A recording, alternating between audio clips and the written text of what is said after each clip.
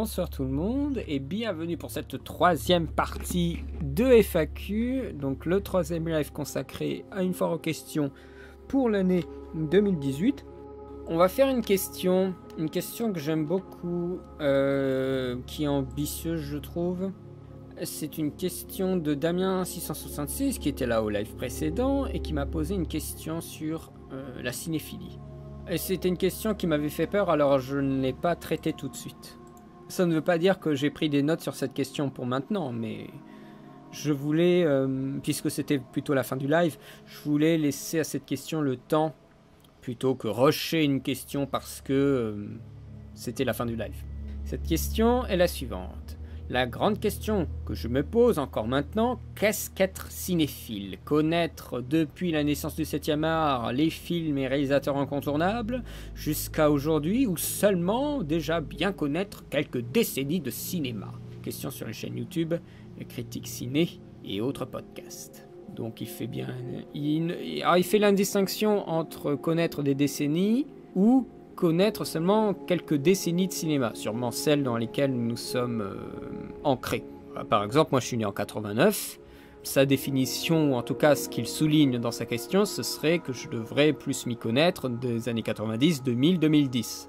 Mais il se hum, limite beaucoup trop à la connaissance. Quand j'entends sa question, il se limite beaucoup trop à la simple connaissance de films. Alors que la cinéphilie, ça peut aller beaucoup plus loin. J'avais écouté le podcast Le cinéma est mort sur euh, Peter Bogdanovich, je crois qu'il s'appelle comme ça le monsieur, parce que j'avais vu récemment un film qui s'appelle Paper Moon, et je voulais juste m'en renseigner un petit peu sur le bonhomme, et euh, dans ce podcast, il disait un truc qui était juste, mais qui était un petit peu trop poétique pour que je puisse le prendre au pied de la lettre. Le fait qu'on peut considérer la cinéphilie comme une philosophie de vie, et qu'on apprend la vie à travers les films. Ce qui est bien sûr très dangereux parce que les films ne sont pas des représentations strictes de la vie, donc on peut se louper en fait en pensant que ça se passe dans les films comme ça, donc ça se passe comme ça dans la vraie vie. Mais par contre, je pense qu'on peut avoir des réflexions, euh, peut-être un savoir aussi, parce qu'il n'y a pas simplement le film de fiction quand on parle de cinéma, il y a aussi le documentaire, euh, un recul par rapport à des situations que nous voyons dans une fiction et après que nous, nous pouvons voir en vrai comment nous pouvons nous placer par rapport à cette réalité, par exemple une catastrophe, euh, un deuil, des choses comme ça qui arrivent en fiction, et les gens arrivent à surmonter ce deuil ou cette catastrophe d'une certaine façon, eh bien peut-être que nous pouvons en retirer des leçons pour que ça nous puisse nous, nous, nous engager bien mieux euh, dans, dans la vie pour affronter ces, ces problèmes. Donc je pense que oui, la cinéphilie à haute dose pas simplement tu regardes un film, non, non, mais vraiment les gens qui sont consacrés éperdument au cinéma peuvent en retirer plus de choses que des gens qui viennent juste le consommer pour leur bon plaisir. Euh, en retirer des choses qui peuvent les construire. Euh, ça, j'en suis sûr. Et c'est en cela que la cinéphilie va au-delà de simplement connaître des films, c'est simplement en retirer des éléments pour soi, pour vivre. Euh, ça, c'est une première chose. Donc là, ça va déjà beaucoup plus loin qu'être simplement cinéphile. Et je trouve le podcast, à un moment, le dit clairement. Et ça, c'est plutôt bien. Bien sûr, pourquoi? Parce que c'est Jean-Baptiste Toré qui mène le podcast. Être cinéphile, euh, je pense pas que ce soit simplement connaître les films et les réalisateurs et tout ça. Ça, c'est pour des concours de beats, je trouve. Au bout d'un moment, parce qu'au début, ça peut être amusant. Mais au bout d'un moment, on en a juste rien à foutre de, de, de, savoir ah euh, j'ai vu tout machin ah t'as pas vu ça? Oh là là t'es nul on s'en fout de ça un moment moi enfin moi je, en tant que plaisir de cinéphile j'ai un plaisir incommensurable à, euh, creuser en fait à partir d'un film tous les éléments qui découlent de ce film ou qui ont, influencé ce film. Par exemple, je lis un texte sur euh, Naked Prey, par exemple, et euh, on me parle euh, d'un film bien plus ancien qui s'appelle Les chasses du comte Tsarov, je crois. Et du coup, je me dis, ah, alors si ça se trouve, il y a encore une filiation que je peux trouver, alors que je croyais que The Naked Prey serait le premier film de chasse à l'homme. Eh bien non, eh bien là, ça me, ça me, ça me remet en cause ma cinéphilie, ma connaissance de cette catégorie de films, et donc j'ai envie d'aller plus loin en allant chercher, regarder un film encore plus ancien, et cette généalogie du cinéma chercher l'origine constamment. Mais c'est ultra divertissant, c'est très enivrant et comment dire, j'allais dire électrifiant. c'est grisant, c'est grisant de voir jusqu'à où on peut revenir dans le passé à partir d'un film que vous aimez bien, par exemple. D'ailleurs, les films que l'on préfère ne sont-ils pas ceux qui nous ressemblent le plus Ah là là, Silver et ses questions. Moi, je suis pas à l'aise quand il y a, quand y a des, formulations comme ça, j'ai l'impression de perdre pied. il faut que je réanalyse ta phrase, Silver. Pour moi, c'est trop compliqué. Je fais la, la, tu sais, le même de, Jackie Chan, là, qui se prend les mains dans la tête, là. Ah, c'est trop compliqué. Euh, oh, oui, oui, bien sûr, euh, dans, dans ce cas-là, oui, mais d'une façon plus globale, euh, pour, je pense, la question de Damien, euh, il voulait essayer de, tirer le, terme cinéphile, cinéphilie un peu dans tous les sens, et pas seulement quelque chose qui nous touche nous-mêmes. Il voulait quelque chose de plus ample, même quelque chose de plus objectif. Hein. Euh, il parle de connaissance. Euh, la connaissance va simplement au-delà de, la préférence, si je puis me permettre. Donc je, pense que pour, pour peut-être continuer et terminer sur la question de Damien, qu'être cinéphile, ce n'est pas simplement de la connaissance de films. Pour ma part, je serais plus à l'aise, mais plus content de moi si je ne me limite pas à des films post-naissance. J'ai envie de voir des films avant ma naissance, bien avant même la naissance de mes parents, euh, c'est-à-dire années 50. Eh ben, en plus, on en découvre, il y a des films qui sont ah, complètement fous. Hein. Ça, ce serait dommage de se couper de ce genre de spectacle au nom d'une euh, pseudo euh, comment dire une pseudo vieillesse de film ou parce que on est cinéphile euh, limité qu'on se limite alors que justement les gens se plaignent de ne pas trouver leur compte en sortant du cinéma ils devraient au contraire s'élancer dans les années 70, 60, 50, et peut-être quand ils sont plus à l'aise, continuer 40, 30, 20, etc., etc. Et ils trouveront des choses qui les intéresseront. Mais il faut chercher, faut pas s'arrêter aux évidences. Des évidences qu'ils euh, refuseront peut-être. Les évidences, ce que je veux dire par les évidences, ce sont les tops. Le top film des années 40 ou le top film des années 20. La cinéphilie, ça se pose pas sur la table comme ça. Ça se travaille. Et il ne s'agit pas en tant que cinéphile, euh, quand je vois la Kitsune 13, de faire une liste de ses films préférés. Il ne s'agit pas de... Je pense surtout pas, quand on parle de cinéphilie proche de soi, de commencer à faire des, listes avec euh, des, des, podiums. D'ailleurs, celui c'est le numéro 1, le numéro 2 et tout ça. Non, non, non, non, non. Ça c'est très dangereux parce que si ce sont des films qui vous ont construit psychologiquement, certains arrivent plus en, termes de décennies. Enfin, là je parle pour moi. Il y a des films qui m'ont révélé clairement une partie de ma psychologie euh, à des, moments précis de ma vie. Euh, et ça, je ne peux pas mettre l'un au-dessus de l'autre ou l'un après l'autre. Donc c'est tout est en même temps pour moi. Il n'y en a pas un plus que l'autre. Donc ça, c'est faire des tops et tout ça. C'est pour ça que j'aime pas trop ça. C'est que ça, ça donne l'impression que l'un est supérieur à l'autre, alors que c'est un plaisir qui peut être différent, bien sûr, d'un film à l'autre. Les listes te donnent, je pense, un bon aperçu, mais il ne s'agit pas de les prendre au pied de la lettre comme étant le fleuron des années 60, et encore moins le fleuron pour toi. C'est peut-être les films les plus célèbres parce qu'ils ont été populaires à l'époque de leur sortie, mais c'est pas pour autant que tu vas les apprécier. Et c'est juste un petit travail de recul à faire, tout simple. Hein. Il y a des films que tu as beaucoup appréciés. Moi, j'ai beaucoup apprécié Bénur, Le Cid, euh, Guerre épée, 2001, La planète des singes, mais en même temps, je n'ai pas apprécié des masses Easy Rider. Euh, qu'est-ce qu'il y a eu encore si je tape années 60 Je vais taper ça sur euh, Sens Critique. Euh, Sens Critique, film années 60. Il va me sortir quoi? Voilà, top film années 60. Il y a des films que je n'ai pas vus, bien sûr. personnage, je n'ai pas aimé. Dr Lewis et Mr Love, c'était sympa, mais sans plus. Euh, l'année dernière, à Bad, je me suis emmerdé. Euh, le mépris, je me suis emmerdé. La gastionnaire, je me suis emmerdé. Belle de jour, j'ai trouvé ça raté. Euh, le Servant, de mémoire, je crois que c'était assez stylé, mais je, je, l'ai oublié. ça veut dire que ça m'a pas franchement laissé pantois. Pierre Fou, je trouvais que c'était un peu de la merde. Cléopâtre, je me suis emmerdé. Pourtant, ça devrait me plaire. C'est de Mankiewicz. Il y a beaucoup de psychologie, tout ça, mais je trouvais que ça se tirait trop en longueur. Prends l'oseille, tire-toi, c'était sympa, mais sans plus. Rocco et ses je n'ai pas vu. Euh, il y a pas mal de Hitchcock aussi qui ont vachement vieilli. Euh, la Rose Sauvage, c'était sympa.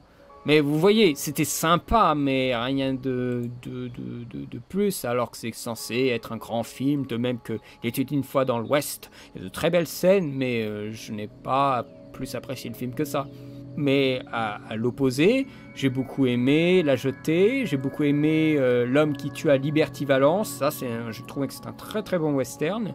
Euh, j'ai beaucoup aimé Playtime, j'ai beaucoup aimé L'Eclipse. Euh, d'Antonioni. Quand je vous disais qu'avant je n'aimais pas Antonioni, bah, l'éclipse et la nuit d'Antonioni, j'ai beaucoup aimé. Qu'est-ce, que je vois encore comme le trou? Ah, le trou de Jacques Becker, super film en milieu carcéral. Hmm, ça me donne des idées de semaine spéciale, tout ça. Euh, oui, le trou de Jacques Becker, j'ai beaucoup, beaucoup aimé. Euh, le garde du corps, Yojimbo, de Kurosawa. Euh, L'Inventura était sympa, mais après ça se barre en, sucette quoi. ma, Macadam Cowboy, très bien. Euh, à bout de souffle, bon voilà, ça, ça a le statut que qu'on connaît quoi. Bonnie and Clyde était bien aussi. Euh, La Grande Évasion, c'était très sympa. Laurence d'Arabie, alors ça par exemple, ça c'est un film euh, légendaire du cinéma que j'ai vraiment bien apprécié, mais que je n'ai pas revu par exemple. Ce n'est pas le film que j'ai envie de revoir. non seulement parce qu'il dure 3h36, mais vous me donnez le choix entre Bénur et Laurence d'Arabie, j'irai voir euh, Bénur, forcément. Je sais pas. Il y a un côté théâtral et, je pense que j'apprécie beaucoup plus Charlton Heston que Peter O'Toole.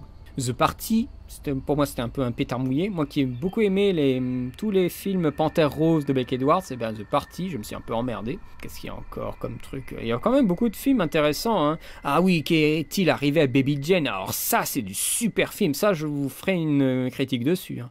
Qu'est-il arrivé à Baby Jane? C'était super, c'était top top top ça. Euh, Mary Poppins, L'armée des ombres, c'était sympa, mais je m'en souviens plus. C'est un problème quand même. Euh, West Side Story, c'était bien aussi. Donc il y a quand même beaucoup de films dans les années 60 qui valent le coup, et il y en a aussi que je n'ai pas apprécié, et qui sont pourtant des, classiques. Hein. Donc il ne faut pas du tout euh, se, bloquer sur des listes. Certaines sont plus complètes que d'autres, et vous, vous pourrez aussi vous trouver des, vos petites pépites à vous. Typiquement, voilà, Silver, tu parles de The Swimmer. The Swimmer, c'est un truc de fou, The Swimmer. On le trouvera rarement dans des listes comme ça, parce qu'il y a très peu de gens qui l'ont vu. Et pourtant, je sais qu'il y a des, universitaires qui ont, fait des papiers sur le film, pour qu'il soit justement plus connu. As-tu vu l'analyse filmique d'Arnaud Baudry sur Alien? Euh, euh, Oui, j'avais vu tout ce qu'avait fait euh, Arnaud Baudry avant qu'il fasse sa chaîne sur les films pornographiques. Euh, AFPB, euh, donc euh, analyse filmique pour les bolos ou un truc comme ça, l'abréviation. Ah oui, j'avais vu, moi je trouvais ça très intéressant, les trucs avec le viol et tout ça, avec le, le, papier, le journal replié. Comme moi, moi ça m'avait échappé, mais c'est vrai qu'il y a de ça hein, quand on parle de d'organique dans, le, dans Alien. Oui, oui, complètement, je, je suis d'accord avec cette lecture. Après, bon, la façon dont c'est des fois agencé, euh, la présentation, je veux dire, de l'analyse, c'est un peu bah, pour les bolos, hein, c'est pas très fin. Euh, mais je trouve que c'est très très bien. Enfin, ça, ça, donne à réflexion et ça donne envie de prendre des notes. Euh, et ça, pour moi, c'est très positif si j'ai cette sensation de vouloir prendre des notes. donc, oui, oui, c'est très bien. Et je t'invite d'ailleurs euh, Monsieur Sherman ou Madame Sherman, je ne sais pas, euh, à voir les autres analyses si tu peux les trouver. Ils sont un peu disséminés sur le web, mais il y en a qui sont très bien. Il y en a une sur Scream qui était pas mal, euh, je crois. de mémoire, il y en a eu aussi sur The Descent qui était bien. voilà. mais oui, je, connais les travaux d'Arnaud Baudry avant qu'il vienne faire sa petite chaîne YouTube. Et j'espère que c'est une chaîne YouTube qui n'arrêtera pas. Ne serait-ce que pour sa présence. Hein, parce que non seulement c'est quelqu'un que je connais depuis longtemps et je pense qu'avec qui on serait tout à fait capable de s'entendre pour faire un travail commun. Et euh, c'est un mec qui a l'air super sympa. Donc ça, ça compte aussi quand on souhaite créer euh, autour de l'analyse et de la réflexion autour des films on souhaite créer une ambiance et quelque chose de, de convivial, de bienveillant. Je trouve qu'Arnaud est bienveillant. Et puis voilà, il s'agit encore une fois, comme pour moi, de petites chaînes. Donc on peut encore euh, prendre du temps à bien discuter avec vous que plutôt euh, bah, des chaînes qui ont beaucoup trop de monde et, et, qui peuvent même pas suivre en fait les conversations sur le chat. Parce que là, on, est peut-être une petite dizaine, une petite quinzaine. On est combien? On est, on est peut-être 15. Voilà, on est 16. Voilà, 16, c'est tout à fait vivable. Et puis c'est 16 personnes aussi qui sont grossièrement de ma chaîne à peu près. Donc ce sont des gens qui, ont, qui sont habitués aussi à des, longues vidéos. C'est pas des kikoulol de, de, de 13-14 ans qui font n'importe quoi. Il y a peut-être des gens de 13 ou 14 ans. Ne, ne pensez pas que je vous attaque directement. Mais il faut bien com comprendre que bon, le contenu que je fais sur ma chaîne, c'est pas forcément les trucs qui intéressent le plus les jeunes. À part justement les jeunes qui sont vraiment très attachés au cinéma, qui, qui ont le temps aussi d'écouter. Euh, donc ceux-là, bien sûr, ils sont beaucoup plus tempérés. Je parle d'une d'une faune euh, non tempérée. Euh, vous savez, ces gens qui, qui, marquent sur les vidéos Prums. Voilà, vous voyez, je n'ai pas vraiment ce genre de personnes sur la chaîne. Donc forcément, on est en plus petit comité, un comité plus, plus respectueux. et ça, ça se ressent aussi quand Arnaud fait des lives. Mais j'espère qu'il continuera de l'analyse, que ce soit de l'analyse de films pornographiques, de la présentation de films, que peut-être revenir à de l'analyse de films tout court. Hein. Moi, je lui souhaite. Hein. En tout cas, je souhaite qu'il ne parte pas, même si son contenu est irrégulier. On va peut-être parler d'un autre sujet. C'était un sujet qui était évoqué sur Sens Critique, encore une fois. Ah, ce sacré site, il aura ma peau. Une, une critique de Sacha du 54 euh, sur ma chaîne et a popé sur Sens Critique. Moi, j'ai jamais voulu de, ma, de mon émission sur Sens Critique. C'est quelqu'un qui m'a forcé la main. Bon, c'est pas grave. Et euh, une personne, donc ce Sacha du 54, a fait une critique de ma chaîne sur, euh, sur Sens Critique. Vous pouvez aller voir la critique si vous voulez. Bon, il est plutôt, il est plutôt content de ce que je fais. En tout cas, je, le ressens comme ça. Et à la fin, il dit un truc qui m'a hum, interpellé. Il ne comprend pas l'intérêt des analyses, en tout cas de la façon dont je les fais. Euh, et surtout, il a l'impression qu'il manque quelque chose. Alors que pour moi, euh, ça semble être clair en fait la façon dont je fais les analyses et comment je les fais. Il semblerait que pour lui ce ne soit pas clair. En tout cas qu'il aurait souhaité peut-être quelque chose d'autre. Une autre formulation, une autre approche ou d'autres scènes plus particulières. Donc moi je me pose la question donc, euh, qu'est-ce qui ne va pas avec mes analyses? En tout cas, quelle en est la, perce la perception du public et est-ce que cette perception du public est en décalage avec moi ce que je pense faire de l'analyse? Je me suis posé donc la question, oh là, c'est la crise existentielle. Non, non, c'est pas la crise existentielle, mais c'est intéressant de voir que lui, il a l'impression qu'il manque quelque chose, alors que pour moi, non. Euh, après, je dirais qu'il ne manque pas quelque chose, mais qu'il y a une formulation plus stimulante à faire. Euh, pour moi, il y a deux, deux façons de mener une analyse. La première de cette façon, celle que je fais je dis pas que c'est la première parce que c'est la plus juste. Hein. C'est euh, numéro 1, numéro 2 sans classification. Hein. Euh, la première, c'est celle que je fais. C'est-à-dire que je prends une séquence, j'en relève des éléments, et après je vais essayer de questionner ces éléments. Mais je les questionne dans, dans la chronologie de, de la séquence. Je rends compte de ces observations. Ce que je fais comme analyse, c'est une observation, une observation presque pédagogique. Parce que je vous propose que nous regardions tous la séquence sans commentaire, ça veut dire que vous êtes au même niveau que moi dans la lecture d'une séquence et je ne vous ai pas pollué en fait le son ou l'image avec des indications. C'est-à-dire que vous pouvez vraiment vivre la séquence, bien sûr à les séparer du reste du film, c'est peut-être le problème, mais la séquence en elle-même vous pouvez la vivre. Et après seulement, nous allons voir petit à petit les éléments de la séquence et peut-être ce que nous pouvons en retirer dans un premier temps. Euh, et je m'arrête là, justement. Et c'est peut-être ça qui dérange. C'est que je m'arrête seulement au premier temps, ou peut-être voire même au deuxième. Une observation, un déblayage d'éléments, euh, et une mise à nu d'une mécanique de fonctionnement de la séquence. Mais je ne vais pas peut-être pas plus loin, ou en tout cas pas systématiquement. J'en retire son efficacité, mais je n'en retire pas forcément son interprétation. Et surtout, je vous tiens par la main. C'est-à-dire que nous allons ensemble euh, voir du point A au point Z de la séquence. Alors que la deuxième méthode, celle que nous voyons régulièrement dans des vidéos plus courtes, c'est une démonstration. La personne qui fait la vidéo a un propos et une idée précise concernant une séquence, par exemple, et va déployer cette idée avec une véritable argumentation visuelle, sonore, et des points précis que la personne va retirer d'une séquence pour appuyer son propos. Ça, c'est une démonstration, le stade ultime d'une analyse. C'est-à-dire, ce serait la conclusion, la synthèse de toutes les petites observations qu'on a vues ensemble. Mais en même temps, cette démonstration n'est valable que si la personne a fait tout ce travail de défrichage, d'observation, mais bien sûr, dans une démonstration, on ne montre pas cette observation, ce défrichage, ce découpage, cette mise à nu de la mécanique au spectateur. C'est déjà inclus dans la conclusion. Et des fois, certains éléments qu'on aura repérés au préalable ne figureront pas dans la démonstration, parce que ça ne va pas, ça ne va pas dans le sens que nous voulons. Et c'est en cela que moi, je, je souhaite plutôt aller dans la première version, où je puisse vous montrer même des choses qui n'ont rien à voir avec l'analyse, euh, pour aller dans, une direction précise. Je trouve que la démarche d'observer une séquence dans son intégralité avec tous ces petits trucs qui vont un peu dans tous les sens et en retirer plus une mécanique de fonctionnement est plus utile, en tout cas pour des gens qui veulent s'exercer à l'analyse, que quelqu'un qui a une idée et qui va vous dire voilà, cette séquence, c'est cette idée-là parce que tac tac tac tac tac. C'est très impressionnant à voir parce qu'on se dit oh ouais mais c'est trop ouf cette séquence en fait c'est ça. Mais en même temps, la personne vous bloque des opportunités de voir d'autres choses.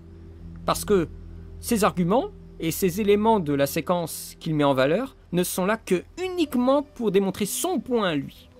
Donc il ferme des possibilités d'interprétation.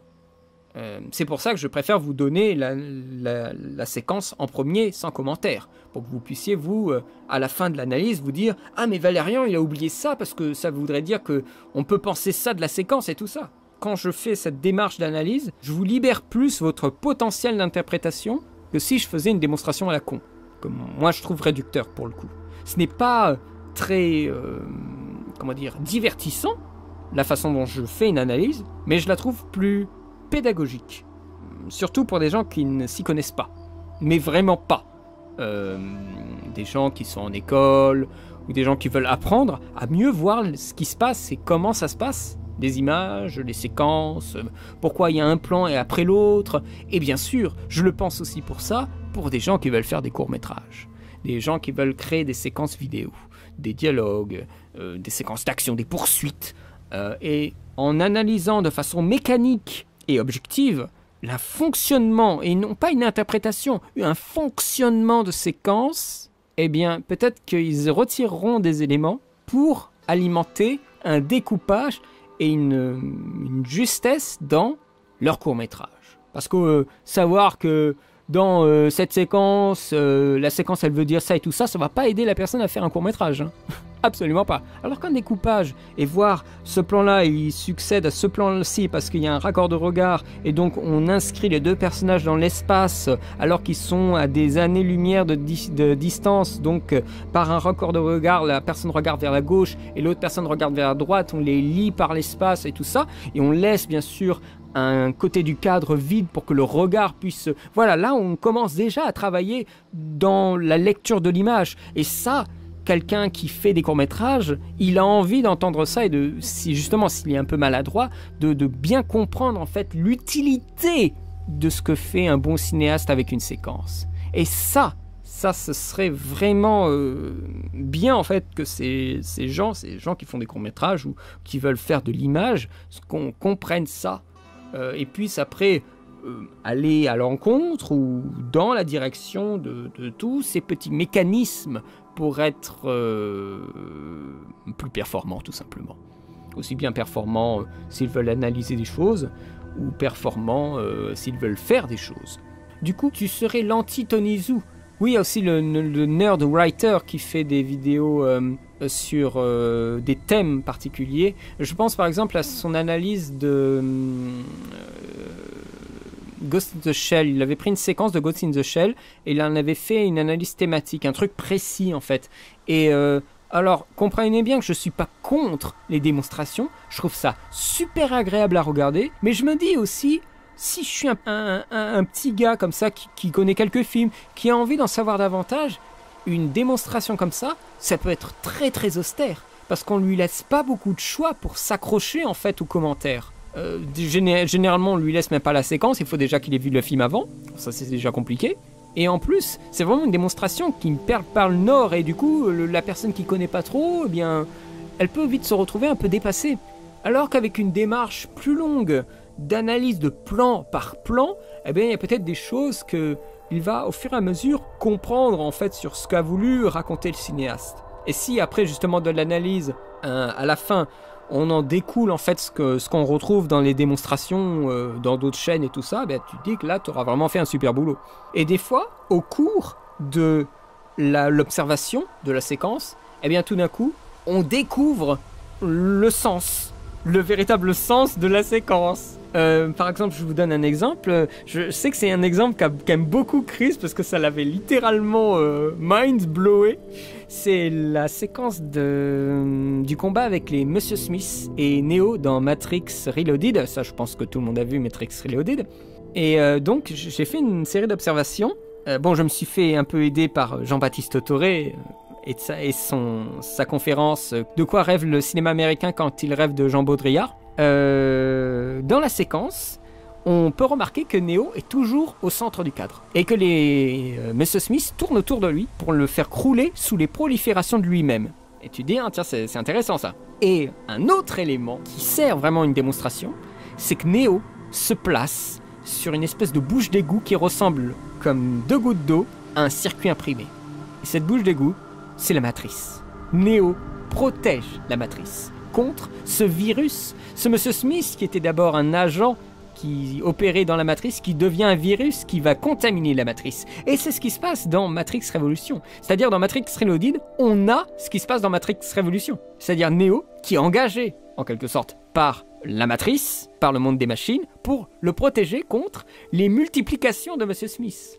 Et ça, c'est pour ça que Neo doit rester au centre du cadre et ne doit pas quitter le cadre par rapport au Monsieur Smith qui veut le faire disparaître du cadre en plongeant sur lui comme à la fin de, la séquence où ils se jettent tous sur lui comme une mêlée de rugby. Et là, tout d'un coup, là, je vous fais une démonstration là. C'est très sommaire, c'est très basique, mais c'est au fur et à mesure de la description et avec l'aide des quelques des quelques traits en fait qu'a énoncé dans, dans sa conférence Jean-Baptiste Autoré que tout d'un coup on peut créer une démonstration mais ça peut nous être révélé au cours d'une observation rigoureuse de la séquence. Et là, tout d'un coup, on se dit Ah oui, mais c'est incroyable ce qui se passe.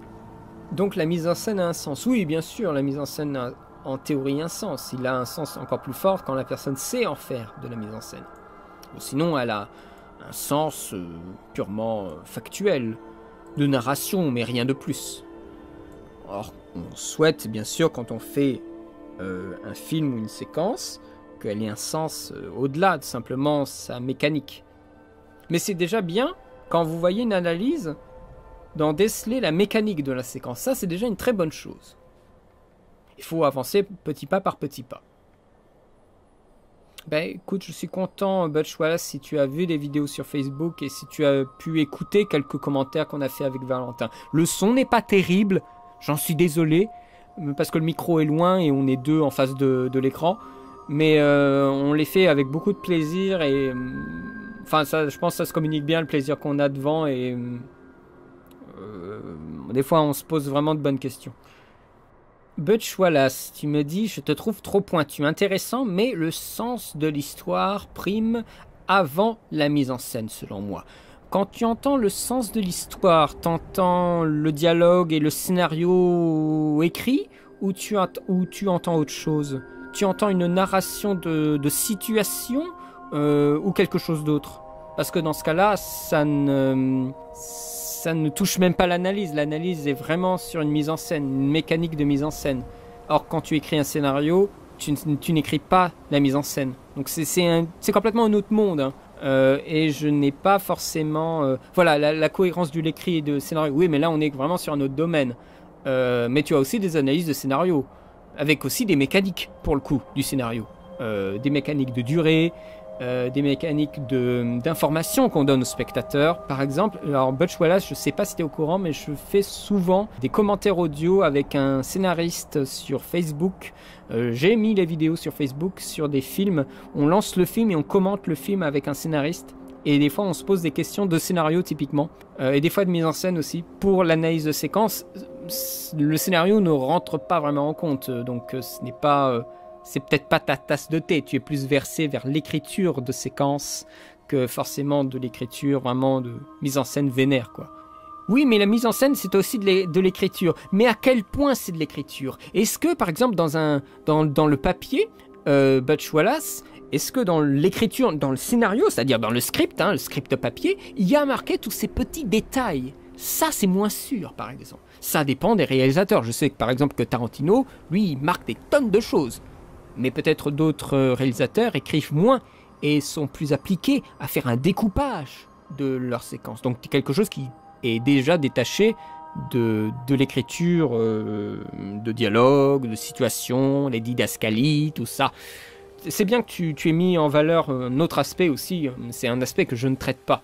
Euh, mais que à l'occasion d'un commentaire de film, j'aime bien discuter avec, euh, avec, mon ami, avec mon ami Valentin. Ma vision, 70 à 80% de la réussite d'un film est, due au scénario, la mise en scène, le reste. Mais j'adore tes analyses affûtées, plein de trucs que j'ai pas vus. Bon, je pense que tu veux dire que 70 à 80% de la réussite d'un film, euh, ça dépend des films. Il y a certains films qui jouent justement sur des mécaniques qui sont plus de la mise en scène et du montage, bien sûr, de la mécanique de scénario. Si tu regardes le scénario par exemple de Memento, c'est un exemple facile, je m'en excuse. Memento, un scénario très très simple, mais sa mécanique de mise en scène et son montage est sacrément euh, ultra ambitieuse par rapport au scénario que c'est. Ou des fois, tu vois, des scénarios qui ont l'air bien, mais assez simples, et le montage, qui est une autre écriture, encore une autre phase d'écriture, qui n'apparaît pas vraiment au scénario, euh, va doper le tout mais d'une façon qui, qui était inimaginable. Donc ça dépend des films. Pour les films assez classiques, oui, il y a une part belle euh, du scénario dans la création de situations. Et là, ça peut être fort. Et c'est là où je trouve que Nolan a euh, des fois vraiment une, je trouve pour The Dark Knight, une vraie force de créer certaines situations et certains rapports de force au scénario. Il crée des scènes où il y a des rapports de force qui sont excellents. Typiquement, par exemple, la scène où il y a euh, Harvey Dent qui euh, veut flinguer un des gars du Joker et il balance sa pièce pour, euh, pour le faire marcher. Parce que c'est une pièce qui, est, qui, a la, face de, la même face des deux côtés. Ils veulent lui, faire comment dire, cracher le morceau. Et il lance encore une pièce une fois et il y a Batman qui rattrape la pièce en vol et qui va lui dire que euh, on peut plus continuer comme ça et qu'il va se livrer à la police. Et, bien sûr, Harvey Dent, il ne peut pas le supporter. Euh, parce qu'il veut que Batman continue à faire régner la justice. Et il, il comprend pas au nom de quoi Batman devrait se livrer. Et ça, ce rapport de force, c'est au scénario que ça se passe. Parce que c'est Nolan qui a créé la situation et le build-up. Et ça, c'est les, build-up et le payoff, ça c'est au scénario que ça se passe. C'est pas vraiment la mise en scène.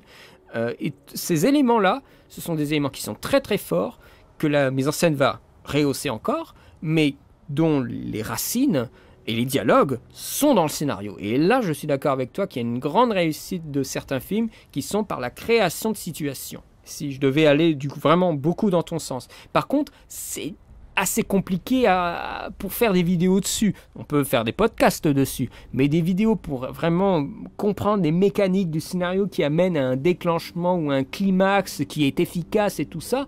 Euh, enfin, euh, en vidéo, c'est compliqué. et surtout, il faut être très spécialisé. Parce qu'autant la lecture de l'image, bon, on peut faire des lectures assez de base. Moi, je considère que mes lectures d'image sont assez basiques par rapport à, vraiment un universitaire rigoureux qui pourrait, mais alors vous alignez des machins, vous n'imaginez même pas ce qu'on peut voir dans des séquences et des trucs de fou. Moi, ma vision est plutôt basique, mais au moins elle est claire. Euh, mais au scénario, il y a des, tellement de mécaniques et ça varie en fonction de tellement d'écoles de scénario que, en fait, euh, c'est vraiment très très très compliqué. Et après, c'est de la lecture aussi. Il faut avoir vu beaucoup de scénarios et beaucoup de, récits littéraires pour en voir toutes les ficelles. Et ça, c'est pas facile. Mais oui, il y a aussi des, choses assez enivrantes quand on lit un scénario, pour le coup. Et qui, des choses importantes du film qui se définissent au scénario. Un scénario ne gère pas les couleurs d'un film, un, enjeu de lumière, à part un truc particulier. Un scénario est très très factuel et ne va pas s'attacher sur des détails de décor, par exemple, ou ne va pas s'attacher sur des mouvements précis de beaucoup de choses. Si par exemple il y a une bataille euh, au scénario, euh, on dit il y a une bataille quoi. On va pas commencer à en faire à faire 300 millions de pages sur comment se déplacent les armées, euh, comment se déplacent, comment sont habillés les gens, et du coup ça, ben, tu l'échappes, tu échappes en fait en, termes d'écriture. Et c'est là où tout ce qui est production de design, ben, réalisation pour le coup, prend le relais. Et donc c'est beaucoup plus que 70-80% pour le coup de la réussite. Enfin, pardon, c'est beaucoup plus que 20 ou 30% de la réussite, du coup, la réelle. Ça dépend vraiment des films. Et il y a bien sûr des films qui ne comptent que sur leur scénario. The Last Man from Earth, par exemple. Un homme qui réunit ses amis pour leur dire Écoutez, je suis le premier homme sur Terre. Et t'as les mecs qui disent Ouais, ouais ok, c'est gentil. Non, non, je suis vraiment le premier homme sur Terre. Et les mecs, ils vont lui poser des questions. Et ça, c'est que un film de scénario pour le coup. Après, Silver, les scénarios, euh, là tu dis que ça n'a presque aucun, dialogue et tout ça, mais le scénario pour rendre compte aussi des situations poétiques sans dialogue. Hein. Il faut juste que l'écriture en fait de ce qui se passe soit un peu rigoureuse pour le faire sentir. Après, tu sais, euh, le scénario, c'est pas seulement les dialogues. Hein. Il y a le traitement, la continuité dialoguée. C'est généralement ça, c'est ce qu'on appelle la continuité dialoguée. Si je me trompe pas, c'est le script donc c'est le scénario, euh, mais tu as aussi tout un ensemble d'écrits qui constituent le dossier scénario qui peuvent bien plus euh, argumenter euh, sur tout ce qui est geste, ambiance, avant de passer à vraiment un découpage visuel.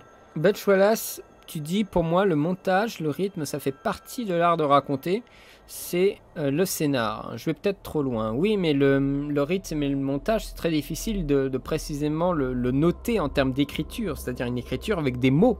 Euh, tu peux en donner une, teinte à la scène, mais tu pourras jamais dire euh, le découpage précis de, ce que tu vois en fait. Le scénario n'est pas là pour te faire une, démonstration d'observation à la, à la Balzac. Hein. Pose chagrin avec des descriptions à non plus finir. Hein. C'est pas ça le scénario. Hein. Donc euh, là, je pense que le montage et le rythme, c'est très difficilement percevable et je crois pas qu'on attend un scénario pour ça. Euh, par rapport à des choses qui se destinent bien plus tard, c'est au découpage et mm, euh, là ce sont des élans de réalisation qui dépassent simplement l'écriture des situations qui rentrent en jeu. Il y a une interprétation après du scénario en termes de réalisation. C'est une deuxième étape après avoir écrit mais je trouve pas que ce soit euh, la même étape. Parce que là, peut-être que tu penses que tu écris le scénario, après tu vas le réaliser. Mais dans le cas où tu écris un scénario, c'est quelqu'un d'autre qui va le réaliser. Ah bah là, on n'est pas du tout dans le même, euh, dans le même schéma. Hein. Donc l'autre va vraiment faire une distinction entre toi, ce que tu as écrit, et lui, ce qu'il va en penser. Donc c'est là où il y a vraiment une, différence. Et là, je ne mettrai pas les deux dans le même panier. Parce qu'il ne faut pas penser, en, France, on a tendance à dire j'écris le machin et je le réalise. Mais dans d'autres pays, ça se passe pas du tout comme ça. Hein. Le storyboard et les placements de caméra, là, c'est même plus le scénariste qui s'en occupe, c'est souvent le chef-op, l'assistant euh, réalisateur et le réalisateur, bien sûr. Là, donc, le scénariste est écarté. Le scénariste pourra toujours être consultant vis-à-vis des personnages, mais quand il s'agit de la partie technique, ce n'est même plus son travail. Et il y aura la script, bien sûr, qui sera là pour euh, tout le découpage, parce qu'elle elle devra vérifier les raccords, par exemple. Le quatrième acte, vous savez, c'est l'idée que finalement on aurait euh, le troisième acte qui serait terminé, qu'il y a une relance en fait de l'intrigue et de, nouveaux, de nouveaux enjeux pour un quatrième acte, souvent ce qu'on dit dans, les films aliens, même un peu trop facilement. Moi, je trouve que c'est une, euh, comment dire, une fausse piste de créer un quatrième acte pour euh, des films comme Alien, euh, pour moi, ce n'est simplement que les résolutions du troisième acte, c'est-à-dire les résolutions du cœur de l'histoire, qui ne sont pas terminées au même moment et qui créent un fossé dramatique entre ce que pense le personnage principal et ce que sait des fois aussi le, spectateur. Un fossé dramatique entre, une ironie dramatique, devrais-je-t-on dire, entre ce que hum, pense le, des fois, pour le cas d'Alien, c'est le cas, le spectateur et le personnage principal, et ce qui est réellement euh, le cas dans le scénario. Et c'est là qu'on a voilà cette espèce de distance qui s'étale, alors que ce sont les mêmes enjeux, il n'y a pas de nouveaux enjeux. Ça reste le même enjeu, c'est l'alien, mais qui n'est pas terminé comme on pourrait le croire. Et c'est là devient la surprise et en fait cette idée qu'on a l'impression que, étant donné que tout ne s'est pas résolu au même moment, au même endroit, Hein, vous savez, l'unité d'espace, de, temps, de lieu, vous savez, hein, c'est comme au théâtre, mais on a l'impression que ça crée un nouvel acte. Alors que non, c'est une relance parce que les enjeux ne sont pas terminés, tout simplement. Et pour moi, ça, ce n'est pas hein, la création d'un quatrième acte. C'est toujours un troisième acte, mais qui est euh, dilué, en quelque sorte. Euh, Valentin était d'accord avec ça. On a quand même pas mal discuté. Et euh, on s'est posé la question alors, qu'est-ce que on pourrait trouver en quatrième acte. Euh, alors justement, tu parles de Speed, beau parleur du cinéma. Ben, Speed, on l'a fait au scénario sur Facebook. Alors là, je vous invite à voir Speed. Hein. On en a parlé de Speed. Ben, nous, Speed, on n'a pas trouvé que c'était qu'il y avait un quatrième acte aussi. On a trouvé que c'était juste une, dilution de, la résolution. On, on pense qu'il y a un quatrième acte pour des films qui sont très très longs. Des grandes, grandes, grandes épopées qui sont vraiment très, très, très, très, très, très, très étirées. Par exemple, Bénur on pense qu'il y a un quatrième acte avec tout ce qui se passe euh, après la course de char. La première résolution, la grande résolution en quelque sorte, avec vraiment des enjeux qui sont très différents, hein, euh, c'est Messala. Et le, nouvel enjeu, c'est la réunion avec sa famille. Euh, après que Messala ait indiqué où était le lieu, il y a tout un nouvel enjeu psychologique de Bénur par rapport à l'approche en fait de sa famille. Et bien sûr le Christ qui va se faire à la fin euh, crucifié et duquel va découler la guérison de sa famille. Donc on a vraiment une, nouvelle, nouvelle trame en fait, et qui dure du temps, hein. c'est pas juste 10 petites minutes, hein. c'est peut-être euh, une 20, 25, 30 minutes hein, euh, le dernier acte. Donc c'est quelque chose d'assez imposant et je pense que peut-être il faudrait vraiment voir toute la mécanique du scénario, mais je pense que là, dans le cas de Bénur, on peut vraiment penser au, à un quatrième acte. Ou peut-être Cléopâtre de Bankiewicz, quand je, vous en parlais avant. Euh, mais peut-être pas pour des films comme Alien. Mais ça, c'est des choses où vraiment des scénaristes chevronnés pourraient bien mieux répondre que moi. Euh, ce sont des enjeux qui sont très intéressants à discuter. Et surtout, ça dépend aussi des méthodes qu'on utilise. Après, ce que je pense on pourrait corroborer cette idée de quatrième acte, c'est plutôt le fait qu'il y ait un désamorçage de la tension, comme pour imiter euh, une redescente narrative. Oui, oui, mais c'est seulement une imitation, c'est une, une, illusion de redescente. Mais cet acte concernant Bénur n'est pas entièrement déconnecté de l'intrigue originelle, car les actes de l'antagoniste qui ont fait que la famille de Bénur soit atteinte de la lèpre est ensuite résolue. Oui, mais c'est comme le passage du premier acte au deuxième acte. Il y a un lien. Ah bien, on pourrait dire que le passage du deuxième acte au troisième acte et du troisième acte au quatrième acte, il y a aussi des liens. Donc c'est jamais déconnecté totalement mais il y a une grande dynamique de, renouvellement euh, de ce qu'on voit et de ce qu'on entend. Et surtout l'antagoniste qui n'est plus là. Et du coup, l'antagoniste change en fait. Et ça, c'est je trouve une, sacrée différence. En tout cas, concernant Bénur. Il y a d'autres films où les enjeux seraient différents, bien sûr. Mais du coup, les sagas comme Star Wars, etc., chaque film est en trois actes, mais après, ils font un tout. Ah bah oui, mais euh, Star Wars n'a jamais été écrit comme d'un seul bloc. Et encore moins les derniers. Ils ont été écrits film après film. Donc ça n'a rien à voir. Je considère en tout cas pour ma part que ça n'a rien à voir. On peut dire, dans un certain sens, que c'est aussi un peu la même chose pour le Seigneur des Anneaux. Il n'y a pas eu euh, un seul bouquin. Il y a eu des grandes étapes, des grands chapitres, qui eux-mêmes ont leur structure. Alors que The Hobbit est déjà beaucoup plus intéressant. Parce que The Hobbit, c'est un bouquin. Et il en a fait trois films. Et là, voir comment tout ça a été découpé en scénario et comment il a été rajouté des choses, ça c'est intéressant à voir. Ça c'est intéressant à analyser. Valérian, pourquoi a-t-on toujours des analyses de texte, essentielles bien sûr, et aucune analyse et éducation à l'image, à l'école, collège, lycée, dans une société où on est bombardé d'images? Je suis navré, Silver, que tu n'aies pas eu cette chance là où tu es, ou là où tu as été. Je sais pas quel âge tu as, hein, mais je suppose que ça semble être un regret de de collège-lycée, moi j'ai eu cette chance. C'est-à-dire dans certains lycées, ils arrivent à, négocier la présence d'une personne qui s'occupe de ça. Et dans d'autres lycées ou collèges, il n'y a pas. Tu peux bien te douter que l'éducation nationale est déjà dans de beaux draps. Dans l'absolu, moi je serais pour en fait des initiatives. Mais ce sont des initiatives extérieures. Ce sont des gens qui viennent, qui ne sont pas profs et qui vous font une sorte de petit séminaire, de, petits, de petites séances. Moi j'ai eu de la chance parce que dans l'école où j'étais, on avait un directeur de cinéma qui était un cinéma juste à côté. Et le mec, il était aussi professeur d'histoire. Donc ça c'est le combo gagnant. Hein. c'est un professeur qui est un véritable professeur, mais qui aussi propose euh, des séances de ciné et de la réflexion autour d'un film. C'est souvent le prof de français, le prof d'histoire géo, le prof d'art plastique, qui peut peut-être étendre en fait son, son, éducation auprès des enfants avec des trucs de cinéma. Mais alors là, euh, je sais pas comment ça se passe. Mais moi j'ai eu de la chance. Avec la pub, tu rentres dans le cadre de psychologique. Euh, et pas que de l'image. Oui, mais souvent l'image véhicule. Euh, véhicule des émotions et du coup trafique un petit peu la psychologie. Oriente le regard du spectateur et du coup son attention et du coup sa consommation. Moi, moi, il me vient une, une expérience que j'ai eue. C'était quand j'ai regardé Toy Story 3. Il y avait beaucoup de petits gamins dans la salle des, des petits enfants. Et un moment, avant le film, il y avait des pubs d'assurance. Et bien sûr, c'était des pubs d'assurance euh, assez compréhensibles par tous. Et il y avait un petit gamin euh, devant euh, qui, demandait à son papa Hé papa, est-ce que tu as ça? Parce que le gamin, il avait vraiment senti que son père devait absolument être, être affilié à cette assurance. Parce que sinon, il allait, il allait droit dans le mur. Donc le gamin, il est vraiment il avait reçu le message de la pub in your face.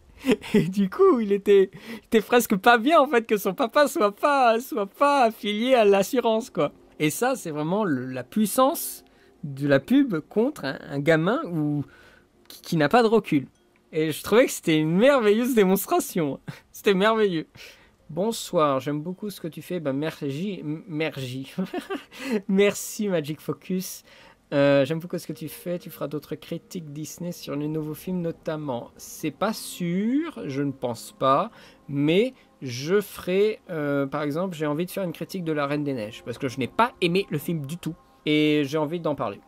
Ce sera ma critique euh, méchante de l'année, voilà.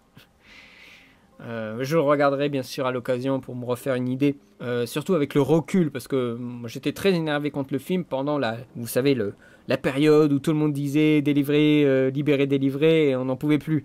Euh, là, le truc est un peu passé. Euh, je me ferai un peu le vide dans mon esprit avant de d'écrire et de, regarder un peu ce qui se dit sur Internet. Ce sera, plus clair, voilà. Je pense que ma critique sera plus claire. Mais je, la Reine des Neiges, oui, j'ai envie d'en parler.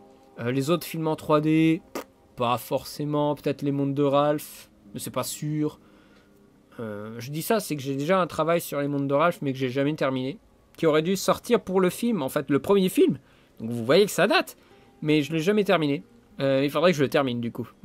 Je pense qu'il est complètement surcoté, mais il est très populaire, donc forcément les gens lui donnent du prestige parce qu'il a, il a, il a touché les cœurs de nos enfants, ce film-ci. Mais dans l'absolu, il vaut rien. Euh, c'est-à-dire qu'il ne vaut rien dramatiquement, il ne vaut rien technologiquement, mis à part peut-être un milliard de dollars, euh, on ne sait pas vraiment euh, écrire l'histoire. Hein. Faire un milliard de dollars, c'est des performances de box-office qui ont été dictées par un merchandising. Donc, euh, la Reine des Neiges n'est rien en fait. Quand on parle d'innovation technologique, on peut dire le lustre de la Belle et la Bête. Là, on a une innovation technologique, une avancée, une démonstration technologique réelle. Ou par exemple, euh, Basile euh, détective privé, on a les engrenages de Big Ben qui sont faits virtuellement et qui ont été après redessinés avec la technique du CAPS. Ça, c'est, ça, c'est, un travail qui est euh, à saluer technologiquement. Ou la, course dans les gorges, dans le Roi Lion, les, les, qui attaquent Mulan, dans, bah, bah, dans Mulan, voilà, il y a une technologie qui est importante, qui est intéressante et qui, voilà, qui était un petit peu inédite à l'époque. Alors maintenant, avec la 3D, on peut faire à peu près tout et n'importe quoi. Je crois qu'il y a eu des rendus de neige un peu particuliers, pour, mais ça, il faudrait que je travaille justement, que je lise un petit peu ce qui est dit technologiquement sur la Reine des Neiges. Mais je pense pas que je vais trouver des trucs de malade. Hein. Ce film est assez tendance, hein, et surtout euh, quand vous voyez la façon dont on a rendu les, la peau des personnages. C'est une peau random qu'on fait depuis 20 ans. Hein. La peau des personnages n'a pas changé en 20 ans. Donc le film est technologiquement standard. Pour moi, le film n'est juste insignifiant. Et il faut que j'arrive à le formuler d'une façon euh, bien, en fait, quand je ferai la critique. Sans que ça en devienne une, parole de, de, personnes blasées ou pédantes, précisément. Quand on parlait de gens pédants, euh, il faut que je le formule d'une façon euh, voilà, qui me plaise, en fait. Mais pour moi, c'est ce que je pense de la Reine des Neiges, ne même qu'au scénario. Hein. Ils avaient une carte à jouer, une vraie carte à jouer au scénario, je trouve. C'est ce trio amoureux entre le, le, paysan, le prince et la princesse, celle qui va partir chercher sa sœur. Et je me dis, ah, le prince, il l'aime aussi, de même que le paysan. Donc on a, là, on a deux hommes qui aiment la même femme. Ça va être intéressant. Et en fait, non. Parce que le prince, il se révèle être un un méchant pas beau. Et je trouvais que là, ça cassait tout, en fait. Parce que là, on se dit, ah, il n'y a pas de méchant, donc ça va se résoudre par des, des complications amoureuses. Et là, tu te dis, ah, mais le Disney, il touche un truc intéressant. Et non, et non, et non, parce que le prince est un méchant. Ah, ça comment gâcher au scénario, tout ça? Ça, c'est gâcher une situation dramatique intéressante. Voilà, quand on parle de scénario gâché, tout ça. Mais après, parce que j'y vois, en fait, euh, j'ai envie d'y voir une résolution adulte. Une situation adulte. Or, on est pour un film pour les enfants. Donc il faut d'un méchant, il faut un gentil. Donc forcément, on retombe sur les mêmes mécaniques euh, qui sont basiques. Donc euh, quand tu as 30 ans, comme moi bientôt, et que tu regardes ce genre de film, on n'est plus la cible de ces films. Donc euh, pourquoi on se sentirait obligé de les aimer et pourquoi on se sentirait obligé de les regarder? Et pour moi, c'est la même chose avec les Avengers. Ces films n'ont pas assez de choses intéressantes et adultes pour moi. Et du coup, moi, je me fais chier devant. Et finalement, je les laisse tomber. Euh, et ça s'arrête là. Et après, je les oublie. Et il ne s'agit pas de garder de la rancœur. Je m'en fous. Plus on avance, plus il y a des films qui ne sont plus pour vous. Que vous pouvez regarder pour vous faire une idée. Et ça n'a rien à voir avec la date à laquelle le film est sorti. Il s'agit de contenu. De même qu'il y a des films qui ne sont pas pour les petits parce qu'ils vont rien comprendre, au-delà de simplement une image violente. Tu vas mettre un, petit gamin devant un film d'Antononi, il va rien piger. Euh, il va se faire chier, il va, il, va, il va sortir de son fauteuil. Mais un adulte de 40, 50 ans qui aura vécu beaucoup de choses, il, aura, il y aura une résonance différente. Il va comprendre des choses, il va comprendre l'ennui, il va comprendre dans, je crois que c'est dans l'éclipse, euh, il me semble que c'est dans l'éclipse, le début du film, quand tu as l'homme qui veut rester avec la femme et la femme elle est contre la vitre et il y a le ventilateur et tout ça qui, lui, fait du vent dans les cheveux et l'homme qui est complètement, qui est un abat-jour, qui, qui a, il y a un rapport avec un abat-jour euh, et l'homme qui est complètement, qui devient objet de la femme. Euh, et là tout d'un coup l'adulte qui a vécu des affaires de couple, il va se rendre compte en fait de ça et il va être touché par ça. alors que l'enfant, ça lui aura complètement passé l'esprit. Donc autant, voilà, il y a des gamins qui peuvent pas comprendre des films d'adultes, autant il y a aussi des adultes qui à un moment ne saisissent plus le fun ou l'intérêt, euh, l'intérêt dramatique de films qui sont euh, que les enfants adorent ou que les ados adorent. Ce que je veux dire, c'est que ça va dans un sens comme dans l'autre. Donc à un moment, il faut pas faut pas s'en vouloir de ne plus aimer euh, tel ou tel film tendance d'action par exemple, bah, parce que c'est trop balisé, parce que aussi vous avez vu trop de choses. Moi aussi j'étais déçu de revirement de situation du prince Hans. il s'appelle le prince Hans, tu vois. Mais non, ouais, je, je... en effet, Théo, je, moi, j'étais. Euh, bon, déjà, il y a le Olaf qui me faisait chier. Et en plus, t'as ce truc qui était vraiment gâché. Parce que moi, j'y croyais, hein. Vraiment, je croyais que je me dis, oh là là, on va avoir une situation inédite. Euh, on va avoir un côté dramatique, mais qui va se résoudre par la volonté de sacrifice humain euh, émotionnel. Je veux dire, il y a un des gars qui va se sacrifier émotionnellement pour que l'autre soit euh, épanoui dans son couple. Et je me dis, oh, ça c'est innovant. Et ça c'est ambitieux et, progressiste. en termes d'écriture pour les enfants. Et non, bien sûr que non. Bien sûr que non, on est chez Disney. C'est pas progressiste chez Disney. Ça fait du business. Hein. Parce qu'un enfant doit être quand même très captivé rapidement. Il a un temps d'attention qui est beaucoup moindre en fait, beaucoup, oui, moindre qu'un adulte. Du coup, si tu ne l'envoies pas tout de suite, euh, si tu ne lui fais pas plus violence, il va, il va, il va s'endormir devant le film. Et moi, je le vois avec mon neveu. Hein. Lui, il adore les premières minutes de Cars, mais genre Cars. Hein. Cars, Cars, Cars, Cars. On n'arrête pas de, nous, de, lui passer les, les 15 premières minutes. Et au bout de 15-20 minutes, il commence à, regarder autour de lui, à jouer avec le, canapé et il regarde plus du tout le film. Donc imagine devant un Tarkovsky. Mais il s'en balance. Il s'en fout. Bon, c'est un petit, hein, c'est un petit genre 4-5 euh, ans. Hein. Ah, mais il est condamné. Hein. Il est condamné, mon, mon neveu. Parce qu'on lui, on lui montre Cars dès le départ. On lui montre pas des dingos, des petits formats courts avec Mickey, tout ça. Non, on lui donne tout de suite Cars, tout de suite le gros truc 3D de chez Pixar, euh, euh, compartimenté, calibré. Enfin, tu te dis, oh mon dieu, putain.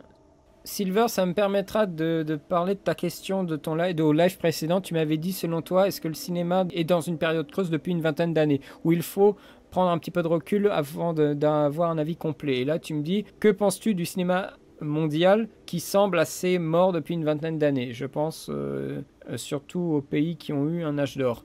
Japon, Italie, Hong Kong plus récemment. Je pense que ces deux questions sont un petit peu ensemble, Silver. Je pense que, comme pour tous les trucs, faut laisser un peu le temps.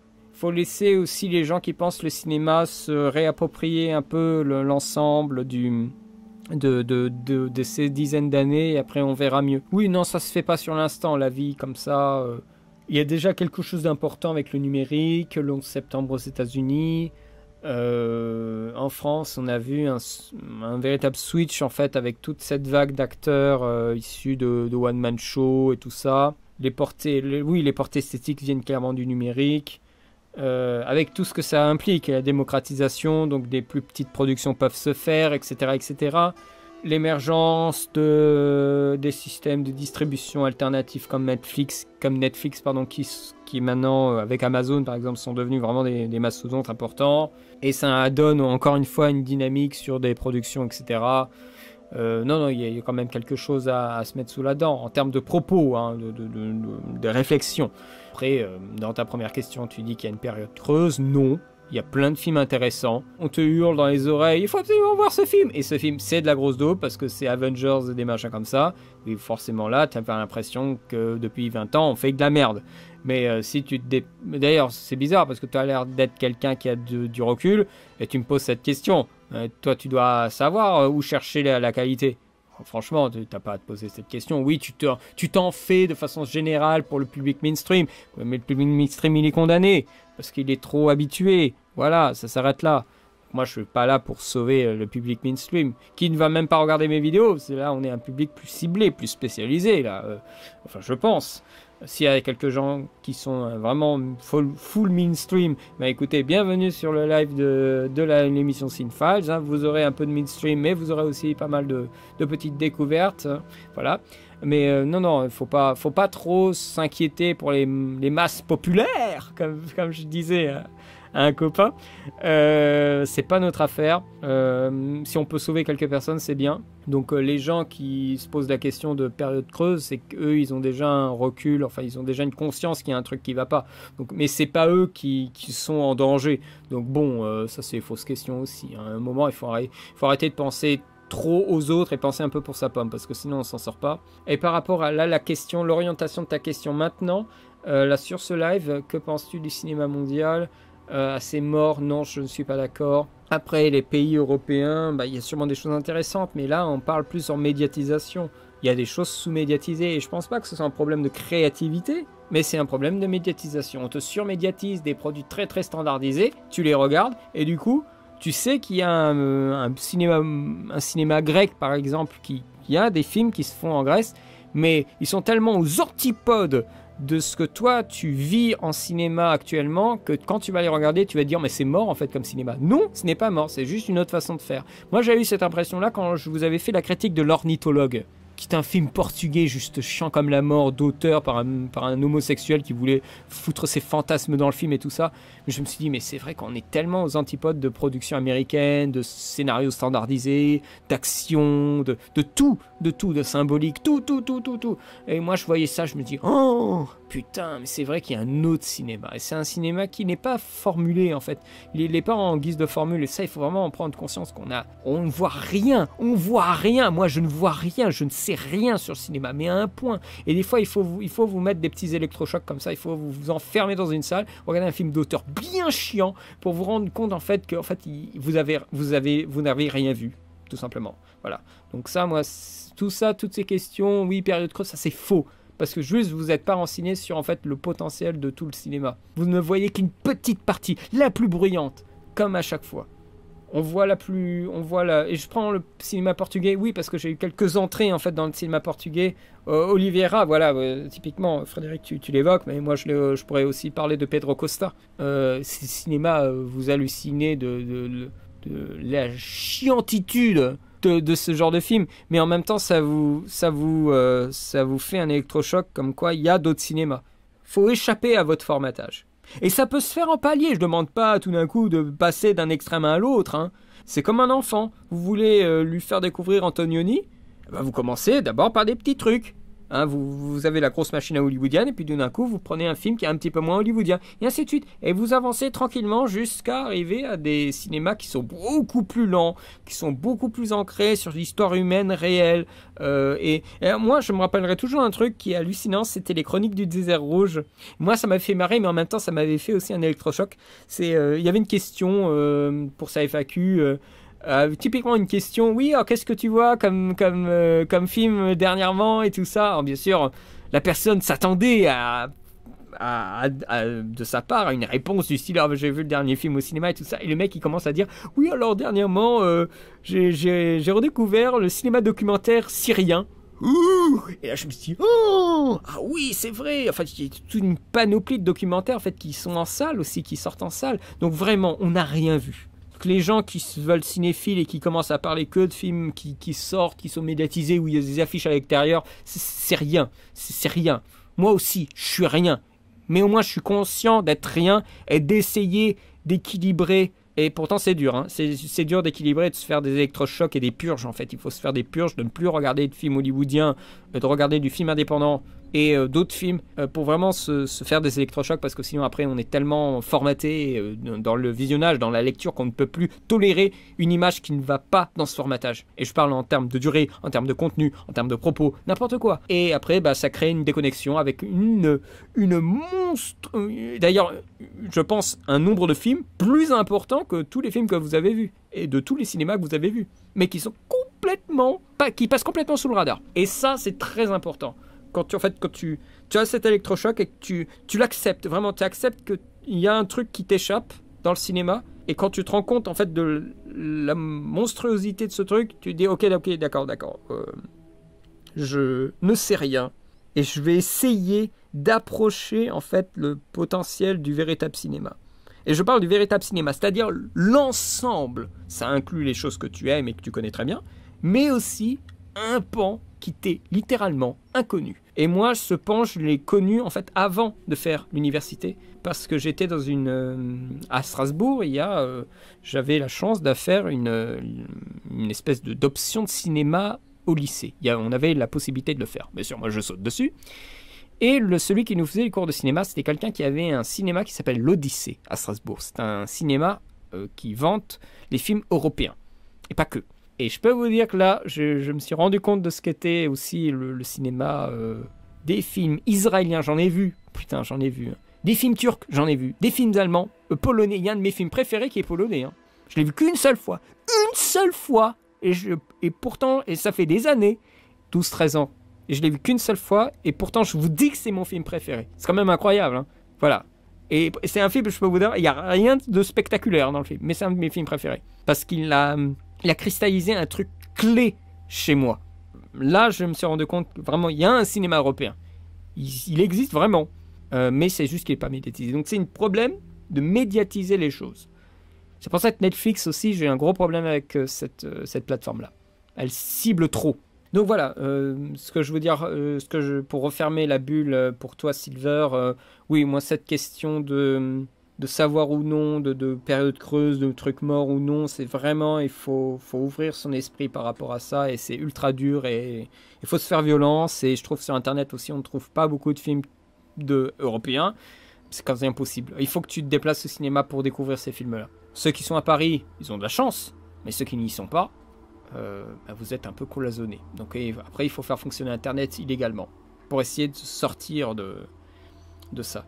Et vous pouvez approcher ce cinéma, euh, ce cinéma extérieur à la médiatisation en regardant, euh, ben, par exemple, des films de, les premiers films de Polanski, euh, les films de, grands réalisateurs européens connus qui n'ont pas encore connu le succès. Et puis tous les classiques, hein, les Bergman, Antonioni, ça vous donne vraiment une idée d'un changement. Écoutez, on peut arrêter là. ça, fera quand même une, une fois en question de deux heures. Même si je sais qu'il y a sûrement des gens qui viennent d'arriver. Et bon, de toute façon, ça pourrait continuer toute la nuit comme ça. Euh, moi, ça fait quand même depuis 10h du matin que je parle. Parce que j'ai commencé des trucs avec des gens. Euh, euh, et en fait, ça, ça a tenu, ça a tenu jusqu'à 19h30. Et en fait, j'avais prévu de faire d'autres choses, mais en fait, non. si vous avez des questions à me poser, n'hésitez pas. Demain, à 8h, il y a la première partie de FAQ qui sort. et vous pourrez poser les questions sous la première partie voilà euh, les choses qui vous viennent à l'esprit pour euh, bah, que je puisse y répondre à la fois suivante. Donc ça, on pourra faire. Euh, en attendant, là, je crois que je vais arrêter. J'ai besoin de reprendre ma voix.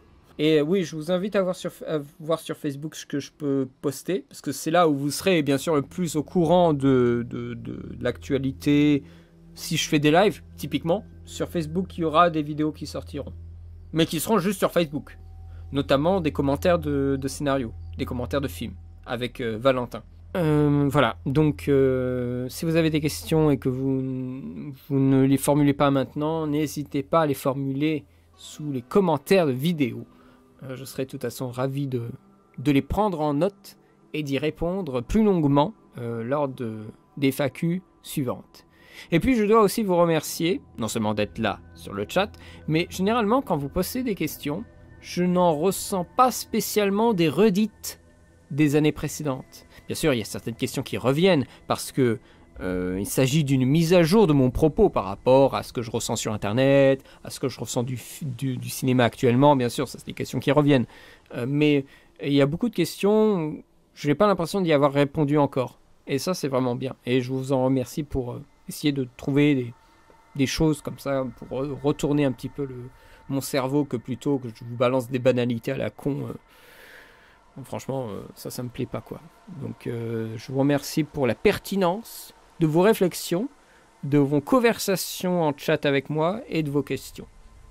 Écoutez, je vous remercie d'avoir suivi ce live, d'être toujours au rendez-vous et à bientôt pour de nouvelles aventures. à bientôt pour, pour de nouvelles vidéos.